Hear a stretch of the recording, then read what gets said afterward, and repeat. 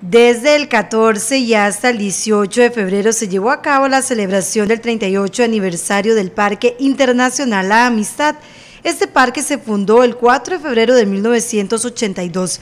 Las actividades fueron organizadas por funcionarios de esta área protegida, la Asociación de Desarrollo Integral de Altamira y San Isidro y la Asociación de Productores de la Amistad. El festejo tuvo como eje central la prevención de los incendios forestales.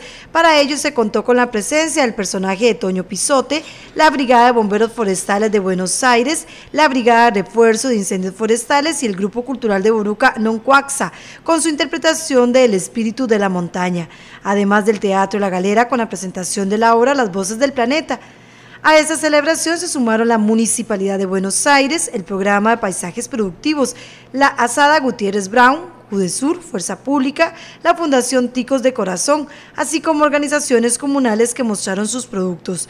La administración del parque agradeció la participación de las instituciones y organizaciones en este aniversario.